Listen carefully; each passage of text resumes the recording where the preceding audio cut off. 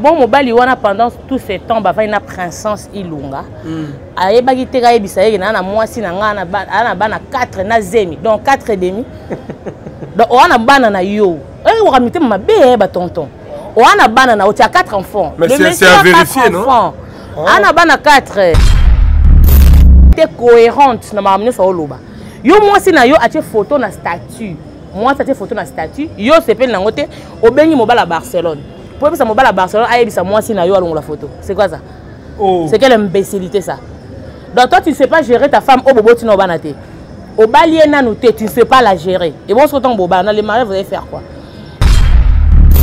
apanzi mpokeke nakosala lettre ya libala te pourquoi na osala lettre ya libala te parce que oyebisi mwana bato verité te et c'est là où mitomanie ya tata wana ebandi o oh, oncle na bango alingaka princesse aussi longtemps oncle na bango ozwi mwana otakisa yene kala ndaka oncle wana oncle wana akomi mabe parce que akoki kosala lettre te atina na famille ya princesse de père ke babimisi endire zoba moko boye lobela mwana bato verité yo ozwi mwasi egypte italie belgique mais yo ovandaka na paris pourquoi parce que mwasi aza na bana na ndako oh donc baverité eza nde bongo aplace princesse na belgique mpo ye aza eh, na france azotraumatise tellement mwana bato e princesse akomi na niveau ti ya oyebi ye ezalaka biloko mosusu okozala na eloko moko boye na nzoto ya mobali no osepelaka nango makasi hmm. so namoni awa nakweyaka mais tellement lokuta eleki mingi eloko wana ebanda osala so effet sur yo te omona boma marché ya motu te epuis relation amoureuse eza marché te relation amoureuse eza cop te soki nabimaka na moto songolo to pakala ekodécourage ye te parce que ayoki lisolo moko boye kina ni tete ni ke parce que ya lisolo moko boye mobali moko boye aza na maîtrise de soi te mobali moko boye intimité ye abimisaka libanda donc le grand problème nde yango wana le, le grand problème yango wana na basi nyonso ya mabala Eza sa ici na Kinshasa ou partout dans le monde, ba mama poto. Bosenga mibali na bino batia ata photo na bino moko na Facebook to mibale. Ça va éviter beaucoup de choses. Mibali oh. ebele, eza conseil de femmes en tout cas. Mm. Mibali nyo, presque hein, en tout cas 90 ou 95% des hommes mariés ou encore au bapeka en concubinage parce que misusu baza nga na yo toyokani kaka nayebi ke tu marie hein. mama olimbisa nga nga na yo toyokani tofandi baluba babenga yango lwaku tosomba mm. ekomi kaka o libala mais bon tolobaka eza libala mais bamama mabala mingi boexigaka mibali na bino batiaka ata deux photo na bino na facebook du moins moto akoti parce que okocircule okoti na facebook ya moto ebande ti suka photo ya mwasi eza te siko ngai mpe je suis à la recherche de quelqu'un po mwasi te ozalaka besoin mobali ti nde mpe bino mibali bozalaka besoin mwasi so ngai nakoti na facebook ya un bon monsieur namoni photo ya mwasi te namoni commentaire te yo oh, mon amour eza te mais ntango obi na nga tu ne pas marie kasi nango ndima te oh. nango ndima epuis tokolinga nous avons toujours tendance à se victimiser oh. basi mosusu tozalaka nde na boye nalingani na jérémie lwemba nayebi ke ngai na yo eza nango kaka relation moko ntango mosusu sexe sexe to nayebi relation toza na yango eya na relation moko ekoaboutir na mariage te eza nango kaka tozalaka oh mais nga na mona ba couple mususu na eh ya ya mobala obala omona basi malamu baza mais bofivaka na moto wana mobali wana oyo biso mobala kobalo c'est pour dire que tosuka na biso kaka awa mais mokolo jérémi lwemba oyo oh, ayebisaki ngai déjà ke mama ngai na relation eza kaka boye akozwa mwasi na ye mpo ake ebala ngai na pete kabi ngai na ye na internet ngai na ye kose victimiser en fait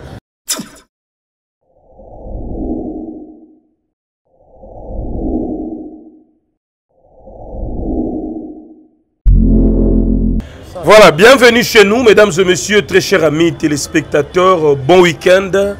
bonjour et bonsoir, ça dépend de l'heure à laquelle vous nous regardez. Nous sommes là, Jérémy Lemba, les Renards du désert est devant vous, alors abonnez-vous, commentez, partagez également cette émission. On va essayer de parler sur la culture, vous le savez très bien, dans le monde de théâtre,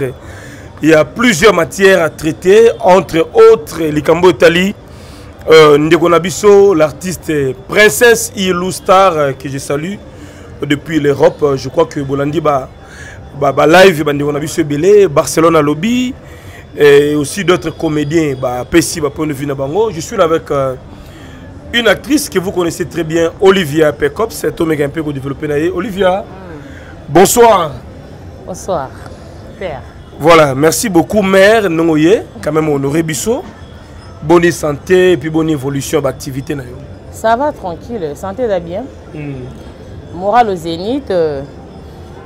évolution ya baboulot ça va navandai mingi un an nazongeli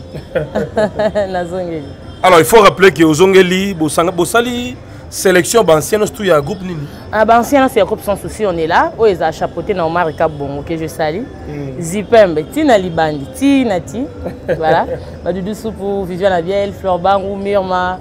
eh, liberté et les autres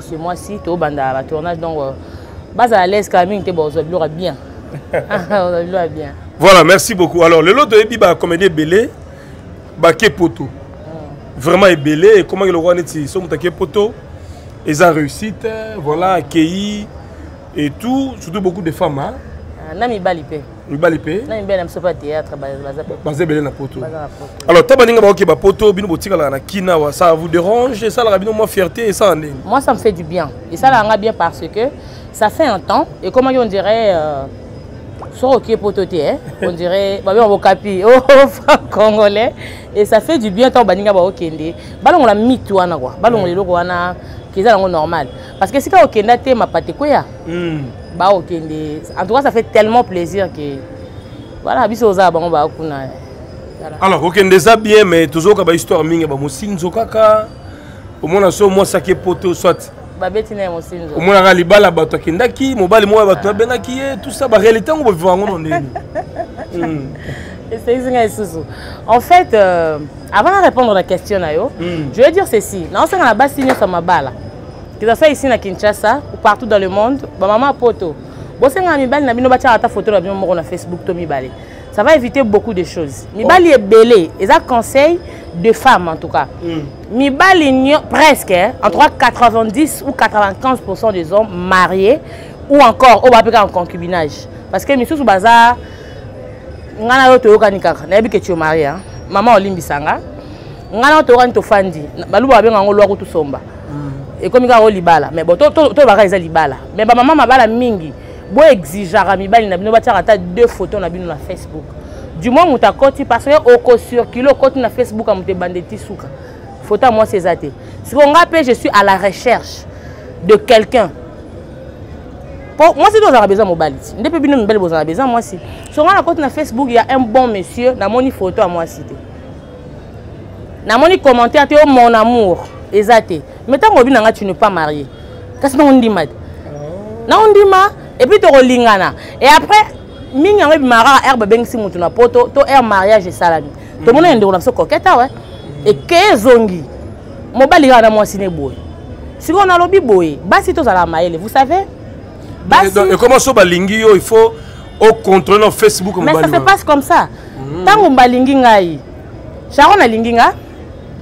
je te sali sharon derrière la caméra sharon alingi nga nga mpe so nalingi ye mpo so nalingi ye te nakokota na facebook te te ah. so ntango nalingi nandimi sharon nakomi mpo koluka natya bamitambo te mm. nakomi okota na compte facebook ya sharon natali natalani na nakomelaki ye na azongiselaki ye na nabalukaki boye namoni commentaire mo compliqué na ye wana na clike na eloko mona ntina etikanda nalukaka nayeba nalukaka nayeba tie komi ntango mwa bo nakomozwa mpe foto no na tie pourquoi parce que naza na besoin nayeba motambo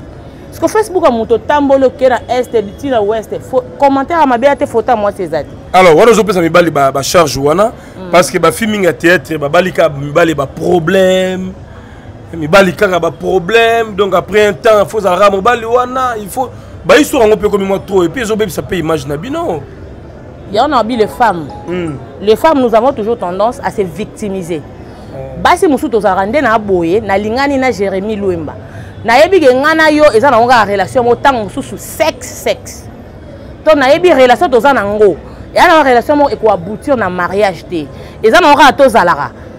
oh, me ngai namona bacouple ya mosusu pena eh yaya mobali akobala omona basi malamu me bofanga na motu wana mobali wana oyo biso mobali akobalo c'est pour dire ke tosuka na biso kaka awa me mokolo jérémi lwemba oyo ayebisaki ngai déjà ke mama ngai na relation eza kaka boye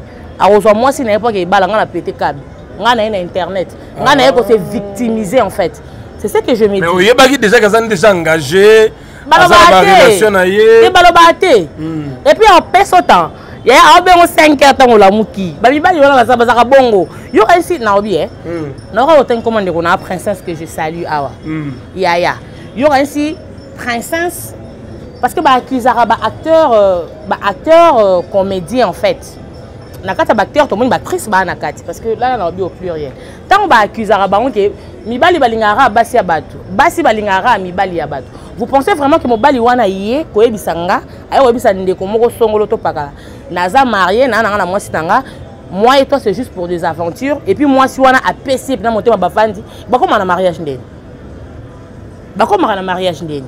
c'est parce que tu me dis naza occupé te mm. to nazalaki na compromis moko quelque part eyosila nango to ezalaka nango te tobotaka kaka mwana esila donc flatterie kaka mibali flatterie euh. et puis omona apesi yo temps ko moi temps na yo aobengo na 5 heures ana mbetu aobengo na 19 heures aobengo na boulot abenga yo heure tout osokolaka na bandeko na ye soki yo olingi osala ndeni opesa motema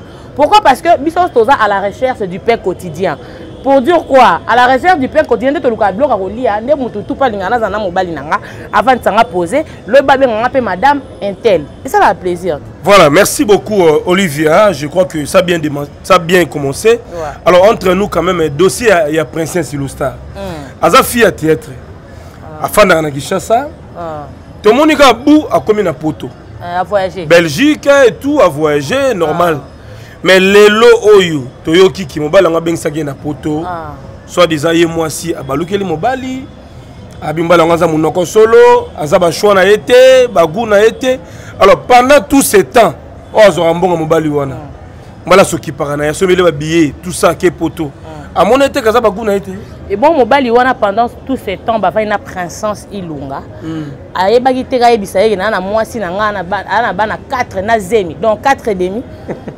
donc oa na bana na yo oyekoka mitema mabe ye eh, batonton oa na bana na yo tia 4 enfants le monsieur a 4 enfants aa ah. na bana 4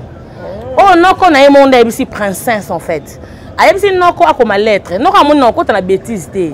en fait le mec c'est en mytho excusez moi le terme c'est en mytho en fait Et puis, ah, alingi moi, alingi ye mingi te. C'est de l'obsession. Il est obsédé par princesse. Yango bata bongo nde tomonaka babomaka basi. Hmm. Akomi na niveau moko parce que ye moto abimisi mbo pense ata ke poto ntango mosusu na passeport ya pamba o princesse ntango mosusu ye moto asalelaki mais akomisi princesse na poto aondima esu te yende mobala princesse akomi komimona inférieure ya princesse alingi te mwasi asolola na telefone abima te dolika moke oh, mais barcelone amoni problème te mais non azo contrôler chéri na ye ce n'est que logique parce que les femmes beaucoup neti bino bafille ya kini boye bozalaka so bokomi na poto tu peux changer d'avis hein? oyebi ngai ye na, mm. na différence oyo bato balobaka bafille ya kini bafille ya poto pour moi c'est un faux débat namona yango te parce que fia okina na nani fia poto aza nani fia poto auta wapi kinshasa te nano okoma kuna te omona réalité ya kuna yango nalobi te mm. moi je ma grande sœur aînée que je sali nansi dindo mwa moto ya yambo mm. azalaka mwana kinshasa te mm. akenda mpo loyo aza foye ne na mobali ne na bana aime zenit amwana kinshasa nadege lotendo tgv naozela ojeli na kati ya kini baaki bana kini basi ya poto bakaba nani basi ya poto sala bana babotami na poto bana ba grande sœur na biso bamama na biso baboti parce que bana tu bauta kini bana baokaa bana kini Ah, okay. bazalaka moko ya bana kini euh, bakongole na biso ya diaspora akoma nde kovanda na poto siko français ape disa tobele mpe mwasi ya poto andika kinoise mais aovanda nde na poto alors histoire yango ya princesse ndenge ebetami na ndenge barcelona azo explike en fait ocapte nini c'est quoi le message clé nini ekomeli princesse on a capté hein, le mm. monsieur euh, c'est un mythomane et puis aza na babengaka yango nini C'est bien moi votre frère, le pasteur Israël Nash. Je vous salue au nom de Jésus. Je suis précisément à Kinshasa. Naza responsable ya Ophelina. Jésus est mon papa. Naye liboso na bino mpo na kopresente bino bana oyo bozomona na bilili mpe badifficulté toza nango nabandaki mosala oyo ça fait longtemps ya kobokola bana selon ainsi du l'éternel mais badifficulté eza mingi difficulté ya loyer parce que tozofutela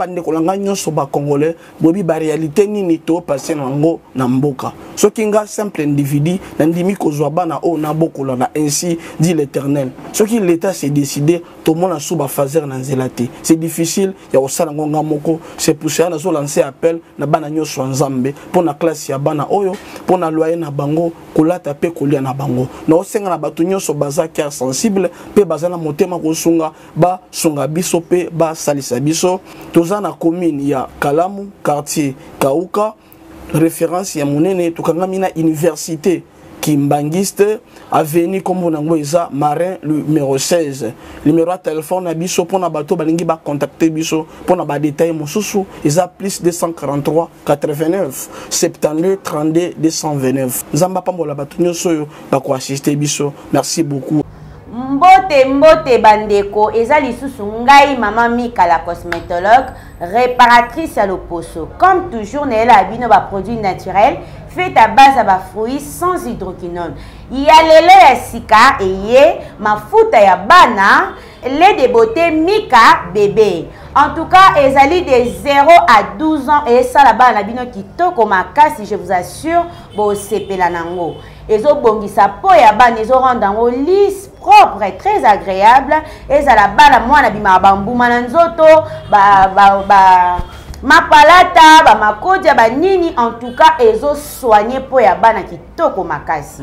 mama mika amemeli bino lisusu bandeko pomade na biso vimbovi pomade oyo ezali pomade raffermissante mpo na mabele basin epuis bassin na bamole en tout cas ezovimbisa makasi bandeko bosala bacommande bopase bacommande na bino bokosepela na yango makasi nzoto yaya papa mama tobongisa yango kaka tozali na pomade na biso ya suki e bato oyo suki ekatanaka pambapamba bato oyo suki ezalaka pepele bato bazala na mabandi solution yango eye baproduit très naturel toza na pomade ya suki toza na huile ya suki huile oyo ezosunga bato bazala na basalite na bacuire chevelire na bango bapoussière baloto oyokaka mokusa yo so bayoka yango soki okomaka mal à l'aise solution yango eye huile na biso huile cheveux mika ekosunga biso makasi toza na pomade oyo ezovimbisa suki suki ekoma noir ekoma kitoko bandeko boya ebele tozali na crème na biso te metisi mpo na basi ya pembe mibali ya pembe bandeko na nga ekosala yo bien yo motu pembe na yo egata yaka mbangu passe commande na yo ekokomela yo tobosani te basa mwindu basa shokola mibala mwindu ya shokola crème de beauté mika yango oyo ezali mpo na bino bopase bacommande esala bino bien makasi toza na beurre de karité na biso pure bio yango eye bandeko esilaki bopase bacommande eye toza na crème réparatrice mika mpo na bato ya problème ya tampon cancer de peau barougeâtre banoir nduta solution yango eye boya ebele toza na pomade antisola mapeka na deux jours apamba sola mapeka esili boya ebele toza na gommage café mpo na kogoma elongi oza na pomade mabouton graisse bokima lombango gommage yango ye toza na savon noir fait à base ya café okozala très à l'aise na douche na yo boya ebele huile d'anana huile d'anana yango naturel en tout cas bokima mbango totika kotya tshoko e totika kotya tshoko bamama bapapa naloba yango heure nyonso tu toa na biso na possibilité nyonso ya koretrouve te na biso normal oui. ezala ebebaki ekomaki ndenge nini nayebisaka mm. bino solution yango oyo solution yango oyo totika kotyaka tshoko bamafuta ezobebisa bato totika hydroquinone Numero plus 243 89 98 27 674. Notre adresse, commune à Kalamu, quartier Matonge, avenue Pozo numéro A17, référence cabine à courant. Sur Yemorotier. a perdre la confiance mpo apamba e alali ouvre les choses bafamille ya princence batelema batelema soki bakoluka basola à l'amiable soki bakoluka bazwa mbongo bazongisela ye ou basalaka parce que aboma mwana na bango parce que oza kaka sofai moke moke naobenga mbila barcelone naobenga mbila oh. yo mwasi no azwi photo atie na statut parce que ngai nalandi euh, barcelone que je salue très bien elle a été cohérente na makambo nyonso aoloba yo mwasi na yo atie photo na statut mwasi atie photo na statut yo osepeli nango te obengi mobala barcelone mpo oyebisa mobala barcelone ayebisa mwasi na yo alongola photo c'est quoi ça oh. c'est quelle imbécilité ça donc toi tu ne sais pas gérer ta femme oyo boboti na obana te obali ye nanu te tu ne sais pas la gérer et bon ce que tant boba na le mariage vous allez faire quoi eza na makambo oyo ezalaka ya chambre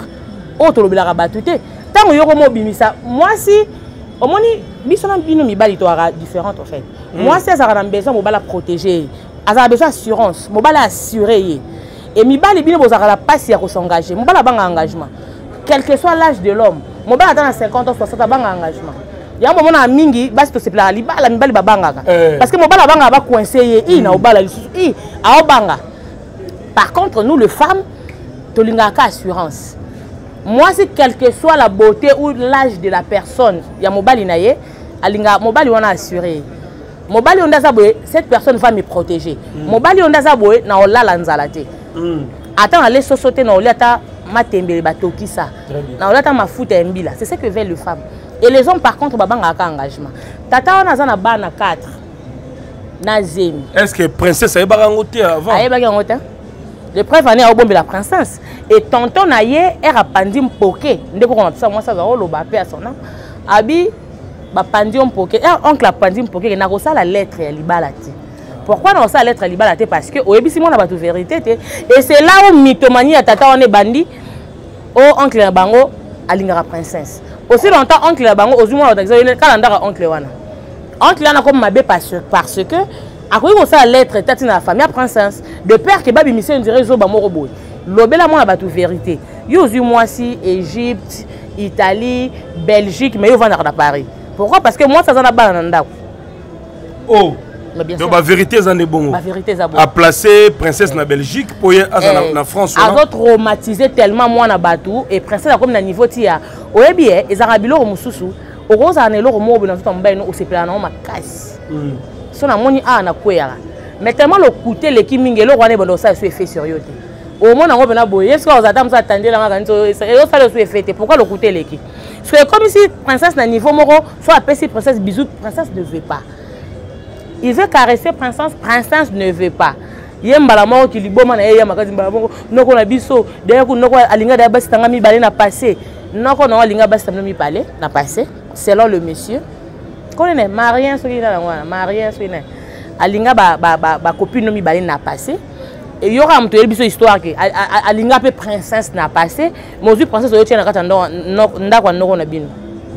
c'est pour nous faire quoi mais bato mosusu baoloba o no princesse abiki moto yango monoko neza solo ebo sikoyo soki est ce que princesse fa brosse minu yaya hmm? omoni omoni propriété oyo omoni propriété oyo je peux bien m'habiller omoni moto na mosika na combo na physique ya différent bakutana dia na princesse na kinshasa ah, okay. ye papa makomo obimisaka mambo ebele ebele ebele epuis yaya omoni mauvaise haleine oyo bato basous-estimaka yango eh. moto akoboma libala kaka mpo na mauvaise haleine jamais je peux boteme nakolingo makasi parce que excusez moi le terme ntango mosusu naloba gros mot il y a des gens qui couchent avec leur mari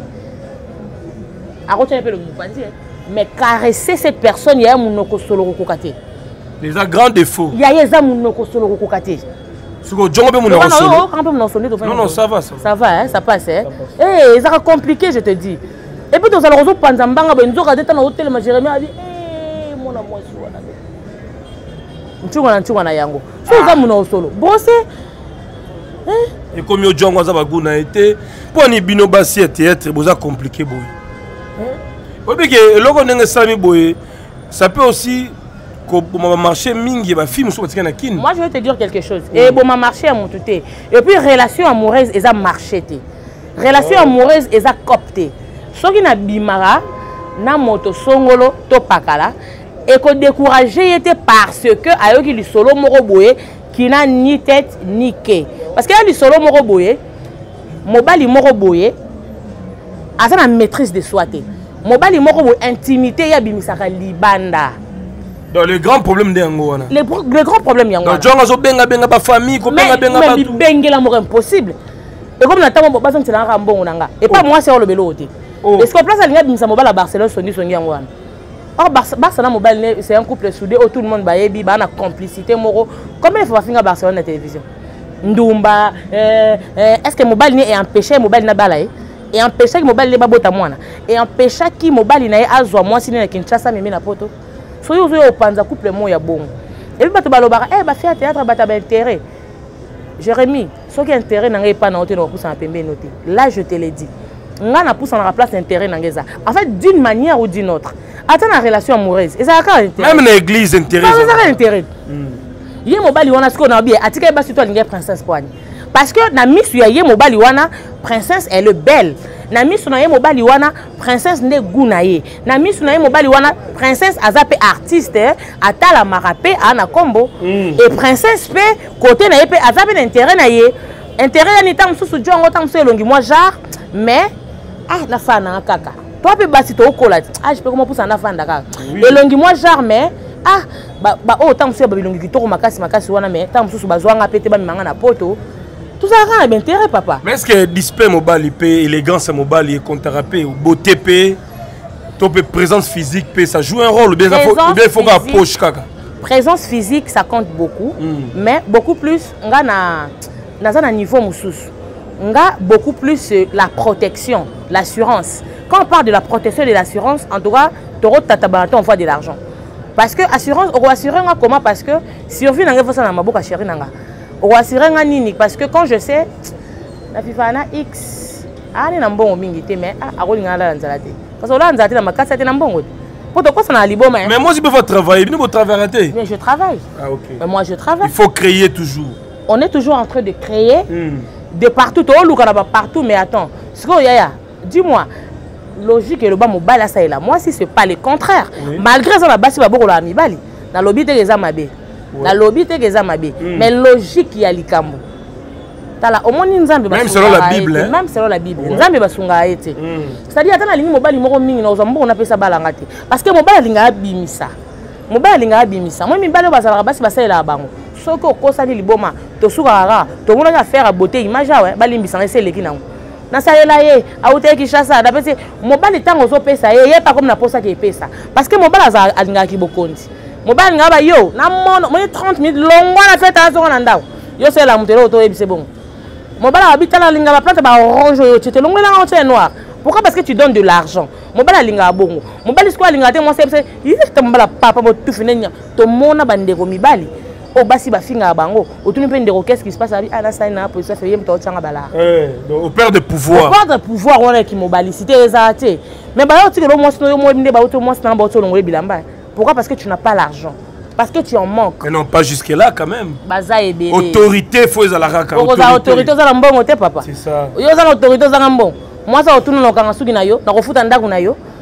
okofanda ye otala mwasi ayebi so keye na mbango te tata na ye oza oblige okende baya ebele bakoma na baréalité wana alors, alors olivia c'est vrai mamozoloba eza réalité lelo sikoyo basa azwi courage ya kosala live wana apandi dossier yango boye parce que trop c'est trop bien nde non parce que miniature na ye batie ye mwana mwasi bato partout baasa songisongi ye na mobali na ye couple ya basongisongi ah. ça en était de trop mwana mwasi bato esali kama maloba moto nini na ngai olinga eh, eza bato mosusu finga na kofinga mobali na ngai te parce que ntango baofinga mobali na ngai mobali na ngai aza na famille na ye te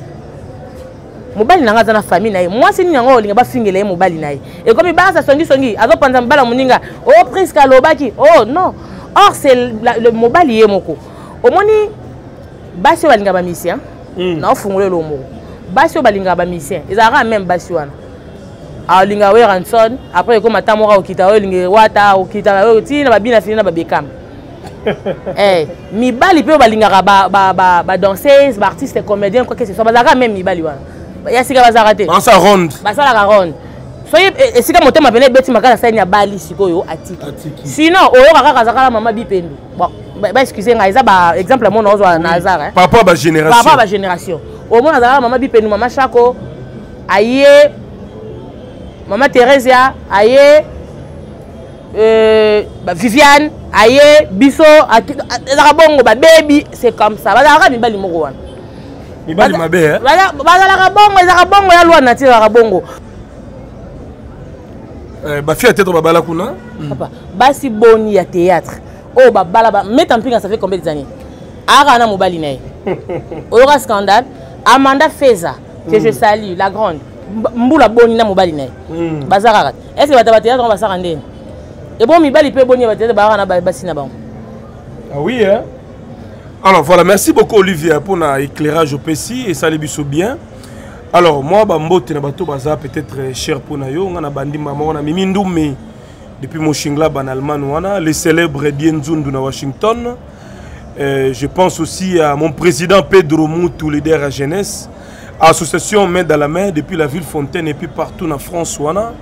nakobosana te sema mayasi femme légitime agence mayasi forza italia et nadine maifuila na bruxelles donc euh, merci pour la confiance merci pour l'attention soutenue nous sommes réellement ensemble pour de vrai mbote na baartiste comédien nyonso ya diaspora et puis ya kinshasa ansu luzolo na pesio merci alors voilà pesa mbote tokabana biso bamene Euh, Robert Mbona. Mm. Robert Mbona na Lyon. Na pesi bambote. Alain Tinta. Alain Tinta de London. Andro quoi. Glody Makio na de Kinshasa. Oyogi. Libanga ya mutu na yo. Alain Tinta de London. Andro quoi. Aimé Zenita de Genève. Moi si ya mobali moro. Plus de 25 ans de vie commune et plus de 20 ans de mariage. Il y a Stella Canta de Genève, ma grande sœur chérie, oh, bah, c'est à Poto Badigja, ma bala. Nancy Dindo, ma grande sœur, propre moto ya yambo, gros bisous à toi. La maman de trois, la maman de trois, je t'aime. Bato tout balingaka nga mingi, nalingaka bino mingi. Donc euh, voilà quoi. Tosuki wana bato ebele ebele obwaka baya te. Po ba ona bwaka kala. On dirait pe na zo tourner sous te boza obenga te. Donc tosuki wana. Voilà, merci à Raoul Kidumu na Canada, Kremer Makala na Canada, bana Australie. bandeko na ngai espagne italie euh, pourquoi pas na brésil boza tellement ebele merci pour la confiance bana luanda angola afrique du sud et aussi euh, na belgique wana pico kiedi kasongo qui séjourne na kinshasa vraiment on est ensemble pour de vrai abonnez-vous commentez partagez lien merci beaucoup olivia merci beaucoup la voilà femme... on est ensemble na ye na baka film moko e nzambe na ngai ladibe la femme formidable ladibe la femme formidable euh, groupe mobimba ya one love groupe mobimba ya one love je vous aime beaucoup voilà bye merci Ayo.